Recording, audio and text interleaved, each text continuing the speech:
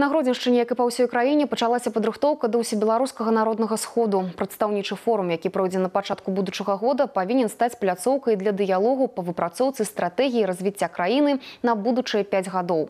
На шырокае абмеркаванне выносяцца пытанні сацыяльна-эканамічнага развіцця і грамадска-палітычнай сістэмы Беларусі. У сходзе возьмуць удзел прадстаўнікі розных сфер, розных рэгіёнаў краіны.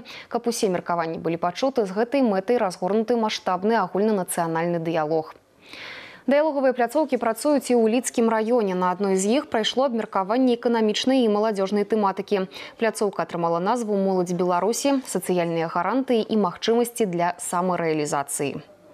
молодые люди, которые хотят участвовать в жизни своего города, своей области, своей республики. Поэтому было очень много предложений, связанных прежде всего с механизмами участия молодых людей в принятии важных политических решений для нашей страны. Также касались вопросы и прохождения э, воинской службы, э, трудоустройства молодых специалистов, дальнейшее обучение, как получить второе, третье образование, как получить кредит. Но вместе с тем хочу отметить, что после окончания любой из диалоговых площадок Э, все, кто присутствовал, все, кто вступали в полемику, выходили э, с единым мнением, что все, что было предложено, должно в первую очередь способствовать развитию и укреплению наших стран. Очень здорово, что граждане э, личины разных возрастов имеют такую возможность встретиться и обсудить вопросы и какие-то внести свои предложения.